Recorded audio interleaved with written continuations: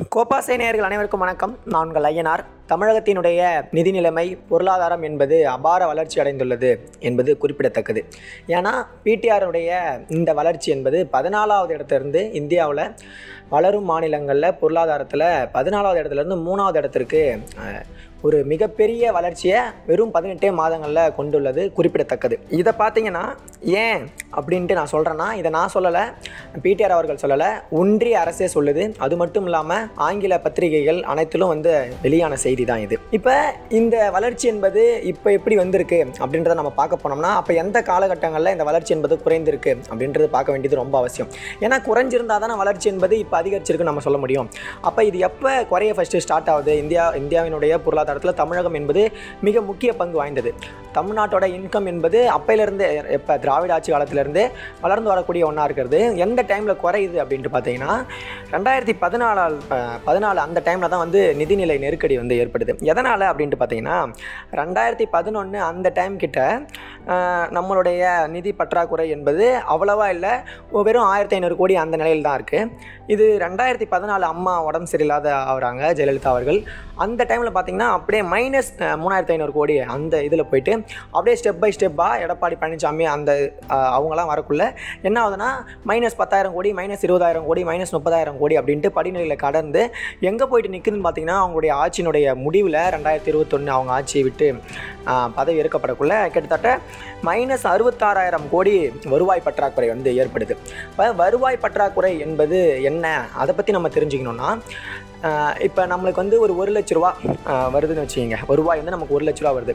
ஆனால் நமக்கு செலவு எவ்வளோ இருக்குன்னா ஒரு லட்சத்தி ஐம்பதாயிரம் ரூபா இருக்குன்னு வச்சுங்க அப்போ அந்த ஐம்பதாயிரம் ரூபா வந்து பற்றாக்குறை ஏற்படும். அப்போ அந்த மாதிரி தமிழகத்தில் கிட்டத்தட்ட மைனஸ் அறுபத்தாறாயிரம் கோடி வந்து பற்றாக்குறை ஏற்படுது. இது மிகப்பெரிய நிதிநிலை நெருக்கடியை ஏற்படுத்து அப்படின்றதான் குறிப்பிடத்தகுந்தது. அது மட்டும் இல்லாமல் ஜிடிபி என்பது தான் ஒரு மாநிலத்திலையாக இருந்தாலும் சரி ஒரு நாட்டிலையாக இருந்தாலும் சரி அதனுடைய வளர்ச்சியை காட்டக்கூடிய ஒரு வளர்ச்சி விகிதமாக காட்டப்படுவது ஜிடிபி தான். அப்போ அந்த ஜிடிபி என்பது என்னன்னா உள்நாட்டு உள்நாட்டு உற்பத்தி. அப்போ நாட்டிலையாக இருக்கட்டும் மாநிலத்திலாக இருக்கட்டும் இப்போ தமிழ்நாட்டினுடைய உள்நாட்டு உற்பத்தி ஒரு பெருக வேண்டிய சூழ்நிலையில் இவங்க என்ன பண்ணுறாங்கன்னா அந்த உள்நாட்டு உற்பத்தியில் கிட்டத்தட்ட எவ்வளோ தரமா கடன் வருது? ரெண்டாயிரத்தி பதினாலுக்கு முன்னாடி வெறும் பதினேழு சதவீதமாக அந்த கடன் பர்சன்டேஜ் இருக்குது ஆனால் எடப்பாடியினுடைய ஆட்சியில் அது இன்க்ரீஸ் ஆகி கிட்டத்தட்ட பதினேழு சதவீதத்திலிருந்து பத்து சதவீதம் அந்த ஒரு வெறும் ஆறு ஆறு ஏழு ஆண்டுகளில் பத்து சதவீதம் அதிகரித்து இருபத்தேழு பர்சன்டேஜ் ஆகுது அந்த கடன். அதை இப்போ நம்ம என்ன பண்ணியிருக்கோம்னா பதினெட்டு மாதங்களில் பிடிஆர் அவர்கள் மேற்கொண்ட முடிவின் வெளிப்பாடாக என்ன ஆகுதுன்னா இருபத்தேழு சதவீதத்திலிருந்து வெறும் பதினெட்டே மாதத்தில் இருபத்தி மூணு சதவீதமாக வந்து குறைக்கப்படுது. அப்போ இதை தான் நாங்கள் வந்து பொருளாதார வளர்ச்சி அப்படின்றோம்.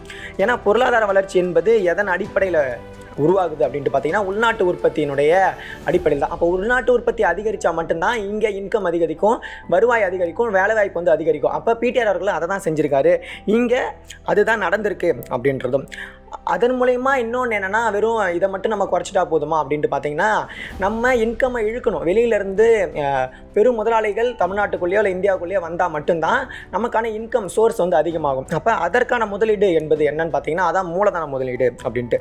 நம்ம ஒரு மூலதனத்தை முதலீடு இவ்வளோ தூரம் செலுத்தினா மட்டும்தான் அவங்க ஓஹோ இந்த ஃபெசிலிட்டிஸ்லாம் இங்கே இருக்குது அப்படின்ட்டு வருவாங்க.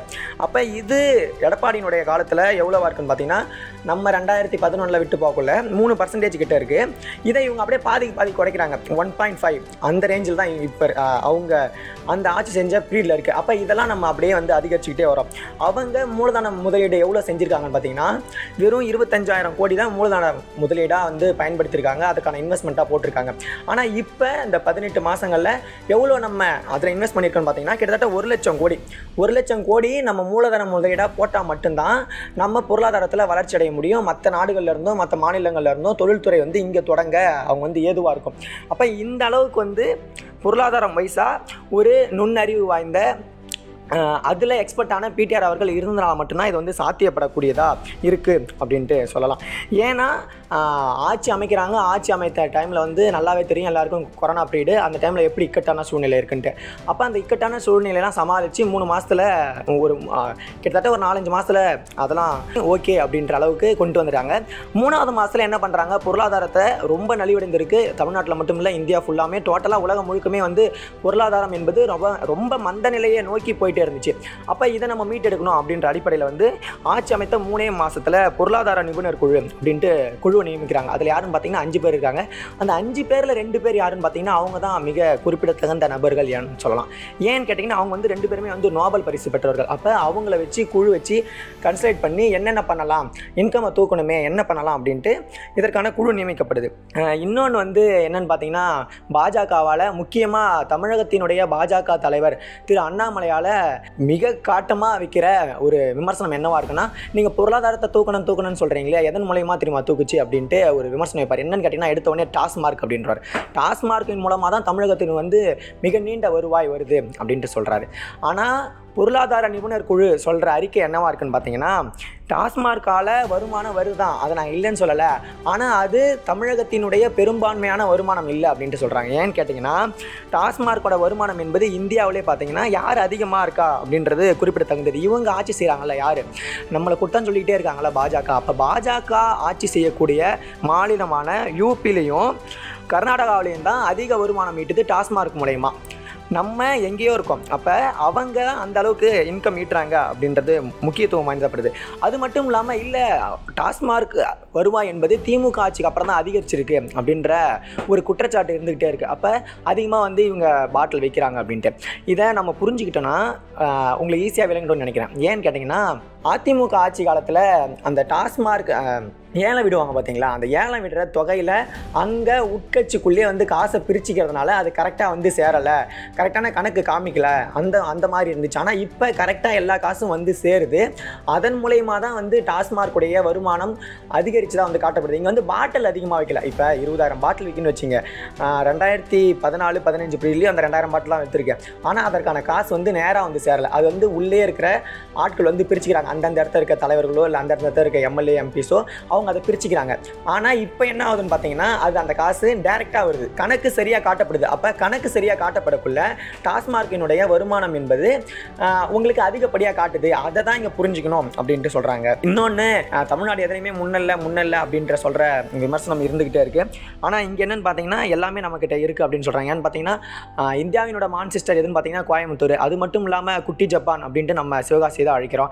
அங்கவே வந்து நீங்கள் பார்த்தீங்கன்னா மற்ற தொழில்களும் இருக்குது சென்னையில் பார்த்தீங்கன்னா பல்வேறு கம்பெனிகள் இருக்குது இப்போ பார்த்தீங்கன்னா ஆப்பிள் நிறுவனம் அப்படின்ட்டு எல்லாமே வந்திருக்கு. அப்போ பிடிஆர் அவர்களினுடைய முன்னெடுப்பின் வழியாக தமிழகம் வெகு சிறப்பாக நடைபெற்று கொண்டிருக்கிறது அப்படின்ட்டு சொல்லலாம். இதை வந்து பாஜக காரங்க ஏற்றுப்பாங்களா இல்லை இதற்கு ஒன்றிய நிதியமைச்சர் நிர்மலா சீதாராமன் அவர்கள் பதில் சொல்வார்களா அப்படின்ட்டு தெரியல. ஏன்னா அவங்க தான் வந்து நீங்கள் எல்லாத்தையுமே அழிக்கிறீங்க அப்படி இப்படின்ட்டு சொல்லிட்டு இருந்தாங்க. அவங்க எப்போ ப்ரெஸ் மீட் வச்சு அவங்க இதை ஒத்து ஒத்துக்க போகிறாங்க அப்படின்றது தெரியல.